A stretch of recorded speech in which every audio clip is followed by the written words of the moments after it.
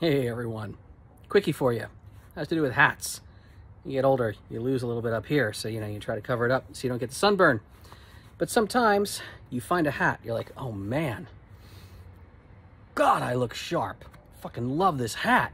Except the size of it. Oh man, this setting, this size is too loose. The wind's gonna blow it right off me. So you say, all right, you know, we got these little adjustomatic snappy snap snaps. Let me go ahead and make that one tighter.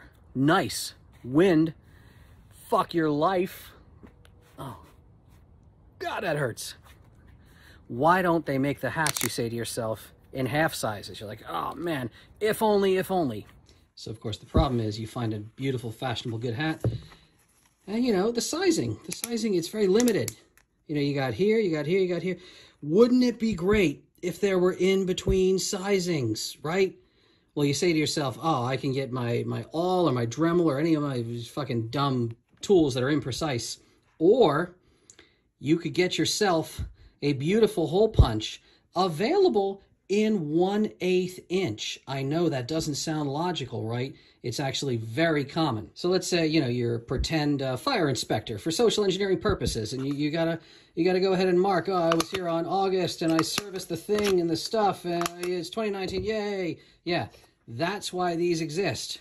Get yourself one of these. They're super freaking cheap. So you got your baseball hat, your trucker hat, you name it, and you want to do a little in-between action. All right, let's get close. Let's get crazy. Bang. Look at that. Want to do another one? Let's do another one. Bang. Are these perfect? No. You know why? I don't care.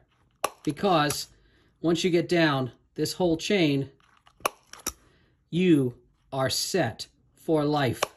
And of course, don't forget, you got to take care of the tip. Just the tip, mind you, right there. Now, what do you got? You got half sizes. Oh, shit. Look at that. Let's see how this one fits instead. So now, that in-between size, not only do you look sharp, like, oh yeah, what's going on? But the wind blows, what happens? F you, Mother Nature, modern technology, thanks to, you know, snippy snip snip. Stay safe and fashionable out there.